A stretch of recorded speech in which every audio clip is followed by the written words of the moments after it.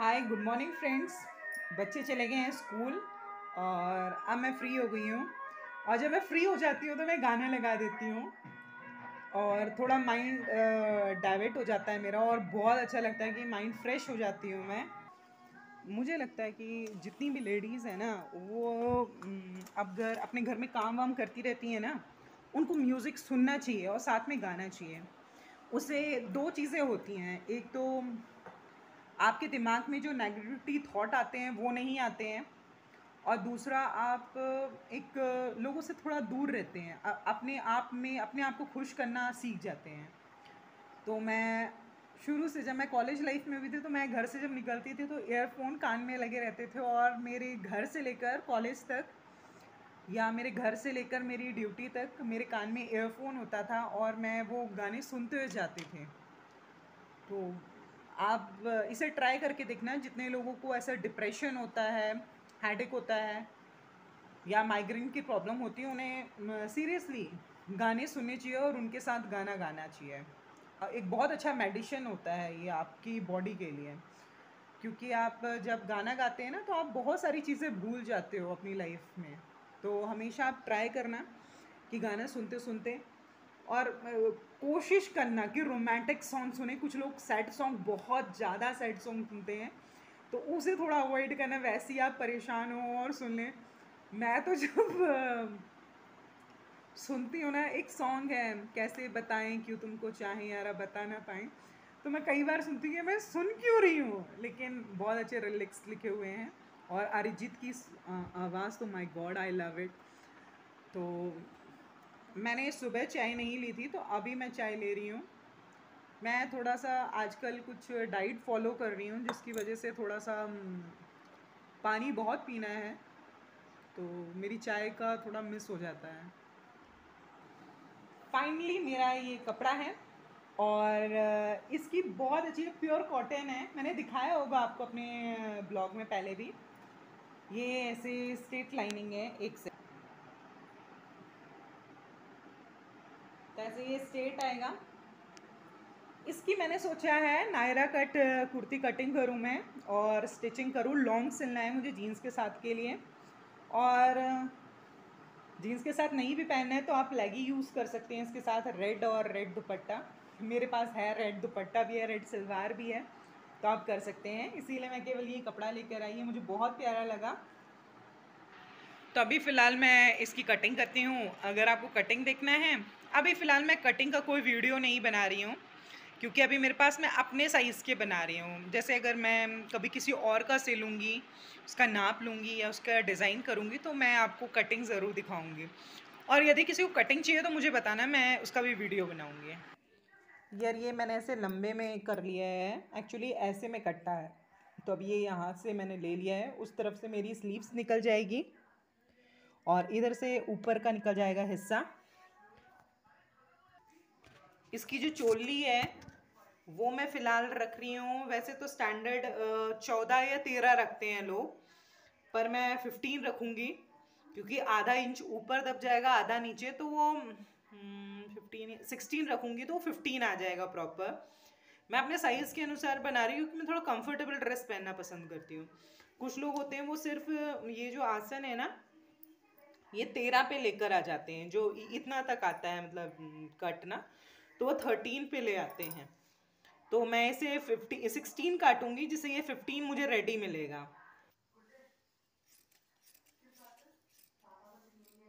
यार, मुझे लगता है ज़िंदगी में इंसान को हमेशा कुछ ना कुछ सीखते रहना चाहिए और कई लोग बहुत हेजिटेट करते हैं किसी से कुछ पूछने में या करने में। और मुझे तो आज की डेट में भी अगर कोई कुछ सिखाता है ना, मैं सीखती हूँ उनसे। और मैं सच बताऊँ टचवुड मैंने आज तक अपने जीवन में जो भी ऐसा नहीं कि मेरे को बचपन से वो चीज़ें आती थी। आज की डेट में भी मुझे कोई सिखाता है तो मैं उसके साथ प्रॉपर वो चीज़ें सीखती हूँ। उस दिन मेरी गाड़ी जब पंचर हुई थी तो भाई स्टेपनी चेंज कर रहे थे, मैं उनके साथ पूरा वैसे स्टेप सीख रही थी कि कैसे करते हैं, कैसे करते हैं। क्योंकि आपको हमेशा सीखते रहना चाहिए, जो इंसान सीखते रहता है, वो इंसान हमेशा कुछ ना कुछ अच्छा ही करता है अपने जीवन में। और आप नहीं भी करो तो एटलीस्ट किसी को बता तो सकते हो यार, इसलिए सीखते रहो।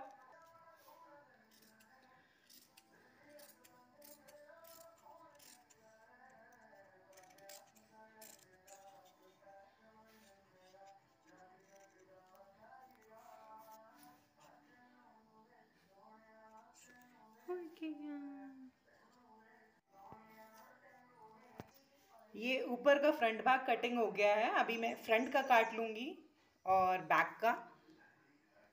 फाइनली मैंने इसकी कटिंग कर ली है। ये ऐसे प्लेटें डलेंगी। वैसे ये है लंबा इतना। तो ये प्लेटें डल के ऐसे से करके ये ऐसे यहाँ तक आएँगे ये। तो जब मैं स्टिचिंग करूँगी तो दोस्तों उसका वीडियो बनाऊँगी। ओके बाय हाय फ्रेंड्स अब मैं आ हूँ किचन में। ये एक मिक्सी मिली है मुझे। मिक्सी क्या मिली थी? मैं स्टोर रूम गई थी, वहाँ से मुझे बहुत सारी चीज़ें मिली। ये हमारी पुरानी मिक्सी है, मेरी शादी के टाइम की है। ये जब मेरे बच्चे छोटे थे तो उनको मिक्सी में हम लोग दलिया ग्राइंड करके देना, जैसे दाल, मूंग दाल, कुछ भी बना देते तो उसमें ग्राइंड करते थे उनके। क्योंकि मैंने बाहर से सैरलैक वैलैक उनको कुछ भी नहीं खिलाया था, सिर्फ़ मैं जो भी था, अनाज था, अन्न देती थी तो मिक्सी में ग्राइंड करना पड़ता था। ये उस टाइम पे ख़राब हो गई थी। तो मेरे हस्बैंड जैसी ख़राब हुई दूसरे दिन जाकर ये वाली मिक्सी लेकर आ गए। फिर अभी मैं इसको ही यूज़ करती हूँ मुझे बहुत कंफर्टेबल लगती है। अभी ये मिक्सी है और आ, उनको फिर पता नहीं कहाँ से एक दिन ऐसे दिमाग में आया कि बच्चों को जूस देना चाहिए और वो जूसर ख़रीद लिया। उन्होंने मुझे बिना बताए और बाद में पता चला कि सेम कंपनी का है। ये एक और वहाँ ऊपर रखी हुई है। तो अभी मैं देख रही हूँ एक्चुअली इसके जार जो हैं, वो मुझे मिले हैं तो मैं ट्राई करके देख रही हूँ। अगर ये चीज़ें बनी हुई तो मतलब ख़राब हैं तो फिर मैं इन्हें हटा दूँगी। और यदि अच्छी हैं तो फिर मैं इन्हें यूज़ करती रहूँगी बीच बीच में ना।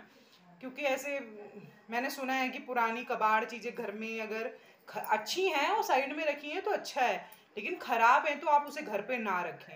तो ऐसे कुछ मेरे बच्चों के साथ बार बार ऐसे हो रहे हैं, इनके फादर का भी एक्सीडेंट हुआ। तो ऐसे मेरे दिमाग में आ रहा है कि मैं क्यों ये चीज़ें रखूँ? अगर अननेसेसरी हैं देन मैं इन्हें हटा देती हूँ। तो अभी मैं इसे ट्राई करके देखती हूँ, क्या पता चलती है या नहीं चलती है। यार, ये चल तो रही है, लेकिन ये जो चीज़ें हैं ना इससे प्लास्टिक जो घिसता है ना, उसकी स्मेल आ रही है। और चल रहा है ये तो मेरे ख्याल से ये जाकर ये चेंज होगा कि क्या होगा। एक बार मैं मैकेनिक से जाकर पूछती हूँ, अगर बनाते हैं तो ठीक है। अच्छी मिक्सी है, क्योंकि ये भी।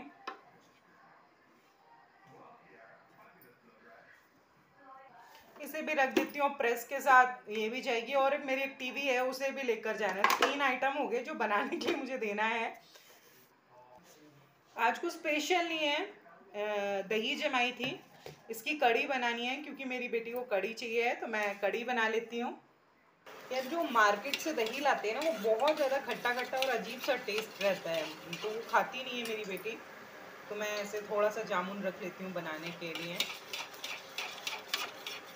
और सबसे अच्छी बात है कि आपका बच्चे जो खाना चाहता है वो आपको बता देता है, क्योंकि मुझे ऐसा लगता है अभी तक मैंने जितने भी बच्चे देखे हैं ना, अपनी फैमिली में, उनको ये पता है कि उन्हें क्या नहीं खाना है। सारे बच्चों को पता है कि ये ये नहीं खाता, ये ये नहीं खाता, ये ऐसे नहीं खाता, लेकिन उस बच्चे को ये नहीं पता कि वो खाता क्या है। जैसे मुझे लगता है कि मेरे बच्चे, दोनों बेटियों को ये पता है कि पराठा खाना है, रोटी खाना है, बैगन खाना है, भिंडी खाना है। तो बहुत अच्छी बात है कि आपका बच्चा आपको बता देता है कि क्या खाना है। मैंने तो अभी तक ऐसे ही बच्चे देखे हैं कि जी बैगन नहीं खाता, नहीं भिंडी नहीं खाता है, ये करेला नहीं खाता। तो डॉक्टर एक चीज़ कहता है कि आप अपना ही वर्जन बना रहे हो तो क्या फ़ायदा? कि कुछ लोग ना अपने जो खुद नहीं खाते, वो अपने बच्चों को भी नहीं खिलाते हैं तो कॉमन सी बात है, उनका बच्चा वैसे ही बनेगा जैसे वो हैं। यार, मैं कड़ी पत्ता लाना भूल गई थी तो अभी मैं लेकर आई हूँ। यार, इस कड़ी पत्ते के इतने फ़ायदे हैं ना, मुझे पता नहीं था। जब मैं पुणे में थी तो वहाँ के जो महाराष्ट्रियन लोग हैं, वो उसकी चटनी भी बना कर रखते हैं। इसकी टेस्टी चटनी भी बना कर रखते हैं फ्रिज में, और जैसे उनको खाना, ये हाजमे के लिए बहुत अच्छा होता है, ऐसा मैंने सुना। तब से फिर खाने में मैं हमेशा इंक्लूड करती हूँ। इसका तो लोग तेल में भी डालते हैं, मेरी फ्रेंड है। उसने मेरे बच्चों के लिए तेल भी बनाया था, एक उसमें ये डाला था। एक्चुअली मैं वीडियो नहीं बना पाई, लेकिन कभी मैं बनाऊँगी वो तेल तो मैं ज़रूर दिखाऊँगी। इसका हेयर स्प्रे भी बनाते हैं कुछ लोग, जिनके बालों के डेंड्रफ होता है, उसके लिए बहुत अच्छा बनाते हैं।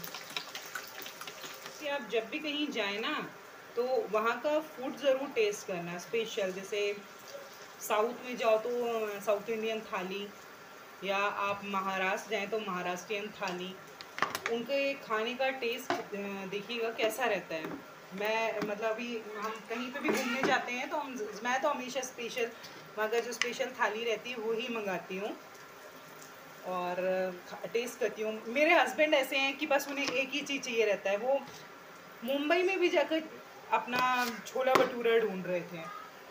पंजाबी थाली ढूंढ रहे थे बस वो, और पता नहीं कितने किलोमीटर जाकर वो टेस्ट करके तब तक मैं, मैंने खा लिया था।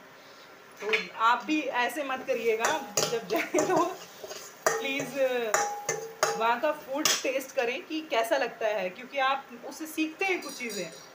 जैसे मैं पिछले बार शिरडी गई थी तो वहाँ पे महाराष्ट्रियन लोग एक चटनी दे रहे थे। बहुत स्पाइसी थी।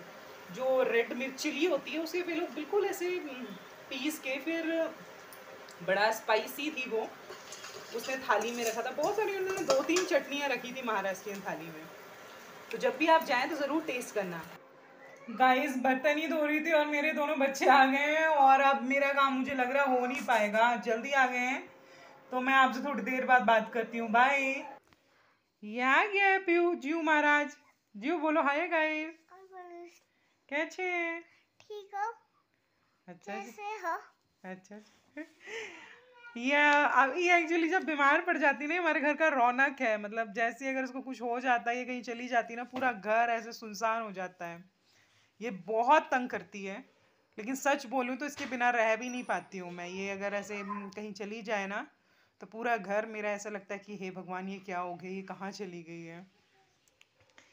तो अभी गाइज़ इनको नहला देती हूँ क्योंकि एक्चुअली इसके पैर में लगी है तो सुबह अर्ली मॉर्निंग में इसको नहीं नहला रही हूँ क्योंकि इसको हल्का हल्का फीवर भी है पेन की वजह से। तो अभी बस ये स्कूल से आ गए हैं तो मैं इनका काम करूँगी क्योंकि आजकल ये थोड़ा लेट ही कर रहे हैं हर चीज़। क्यों नहीं तो ऐसे अर्ली मॉर्निंग ये सुबह जल्दी ही नहा लेते हैं आठ साढ़े आठ बजे तक। लेकिन आजकल थोड़ा लेट कर रही हूँ क्योंकि ठंड का टाइम भी स्टार्ट हो गया है यहाँ पे हिमाचल में ठंड होने लगी है। और इसको थोड़ा फीवर भी है पेन की वजह से। तो मैं इसको ज़्यादा पानी से थोड़ा दूर अवॉइड कर रही हूँ, इसको थोड़ा डरा कर भी रख रही हूँ, क्योंकि डॉक्टर ने मना किया इसको पानी लगाने के लिए।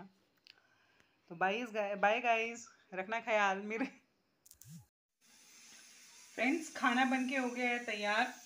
तो अभी मैं फ़िलहाल, मिलते हैं मेरे सेकंड ब्लॉग पे। अभी फ़िलहाल बच्चों को खाना खिलाकर, उसके बाद मैं करूँगी थोड़ा सिलाई। उसके बाद मैं मिलती हूँ आपसे अपने सेकंड ब्लॉग पे। बाय टेक केयर अपना ध्यान रख